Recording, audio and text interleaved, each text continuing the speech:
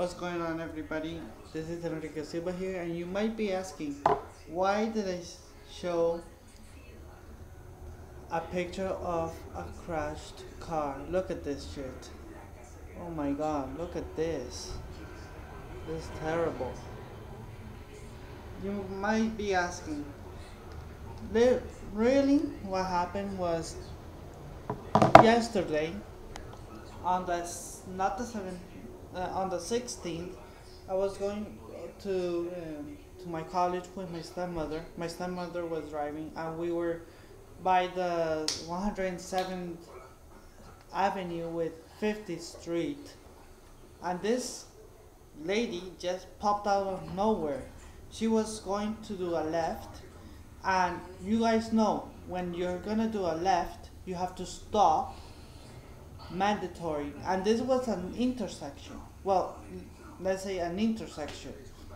So we were passing through the main street the 107th street and every what whatever street that's going to enter the intersection whatever sorry the main uh, the main street whatever car has to do a stop and there was no fucking stop sign there or a fucking light. And this there was a lot of cars passing a lot of them a lot of them when this lady popped out of out of nowhere and decided to do a left knowing she has to stop first.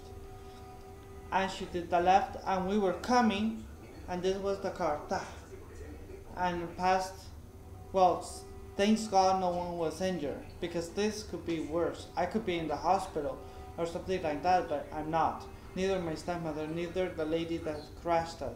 The lady obviously got a ticket because it was her fault. And it was like a little bit scary at first. I was trying to wash something off of my new clothes that I got on the day after the day before that, sorry. So we were just doing. I was just planning to go to college with my and my stepmother dropping me off, and when this lady just pops out of nowhere and decides to crash us. Oh my god, that's not. That's that's bad luck. But another thing, uh, tomorrow, finally, tomorrow I'm doing my second GED test and I'm gonna win it. I know I can, and I know I can do it because the teacher told me that I could, and the teacher told was the one to tell me you have to do the test tomorrow because you're ready. So I'm ready to do the test. The scores are now 145 points to pass it, and let's see how it goes, how I do. I will be telling everyone um, how I do on that test. If you guys, uh, one other, one last thing before I end this short little video. If you want to see the video of Deportivo Cali versus Racing de Avellaneda, go to my second channel. I'm gonna be posting on, I'm gonna post uh, another video my channel, my second channel on the description below, so you guys can go watch the reaction because it's not gonna be a video of me sitting talking about that. That will go up, but on Sunday. But the reaction video is going to go up tomorrow, Friday, the 18th.